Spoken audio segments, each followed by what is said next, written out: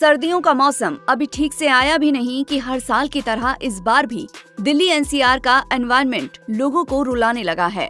दीपावली से पहले ही प्रदूषण का लेवल बढ़ता जा रहा है। लोग परेशान हैं, आँखों में जलन और सांस लेने में अभी से परेशानी महसूस होने लगी है। राष्ट्रीय राजधानी क्षेत्र यानी एनसीआर में बढ़ते वायु प्रदूषण के कारण लोग परेशान हैं।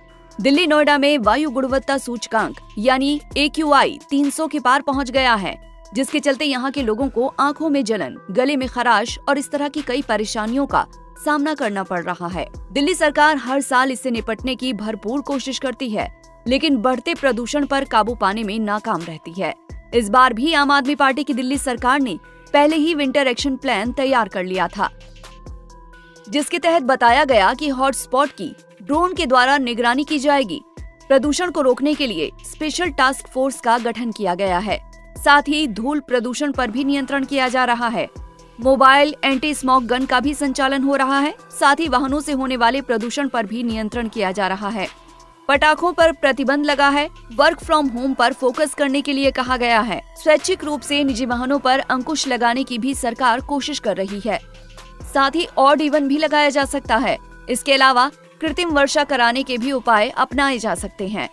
पिछले कुछ सालों में प्रदूषण से इन कामों पर भी रोक लगी हुई है। जैसे भट्टियाँ जलाने पर पाबंदी लगाई गई है, हाथ सेकने के लिए हीटर पर भी पाबंदी लगी है, अलाव जलाने पर भी रोक है।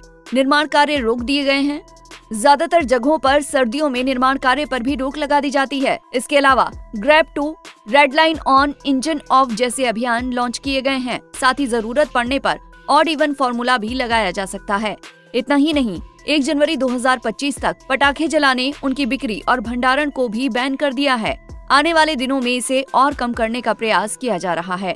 लगातार बढ़ते प्रदूषण से बुज़ुर्ग, नवजात बच्चे और गर्भवती महिलाओं को ज़्यादा खतरा रहता है। ऐसे में प्रदूषण का स्तर बढ़ने पर गर्भवती महिलाओं को घर के अंदर ही रहना चाहिए और बाहर जाने से बचना चाहिए।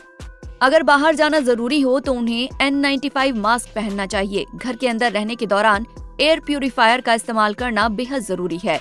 अगर ये उपलब्ध नहीं है तो कुछ प्राकृतिक एयर प्यूरिफायर, जैसे मनी प्लांट, स्पाइडर प्लांट और स्नेक प्लांट को घर में लगाना चाहिए। मौसम बदलने और बढ़ते पॉल्यूशन से सर्दी खांसी की समस्या भी बढ़ सकती है। ऐसे में हाइजीन का पूरा ध्यान रखें। साबुन और पानी से हाथों को बार बार धोएँ या फिर अल्कोहल बेस्ड हैंड सैनिटाइजर का इस्तेमाल करें। सर्दी के वायरस आपके हाथों से आपकी आँखों, नाक और मुँह तक फैल सकते हैं। तो चेहरे को छूने से बचे। जब आप छींकें या खांसें तो टिश्यू पेपर का इस्तेमाल करें और इसे डस्टबिन में फेंक दें। यदि बीमार हो जाएँ तो घर पर रहें। घर से बाहर निकलते समय दूसरे लोगों से उचित दूरी बनाए रखें। तो आप भी इन सब बातों का ध्यान रखें। समाज और पर्यावरण के प्रति ज़िम्मेदारी को समझें और एक स्वच्छ व स्वस्थ समाज बनाने में भागीदार बने।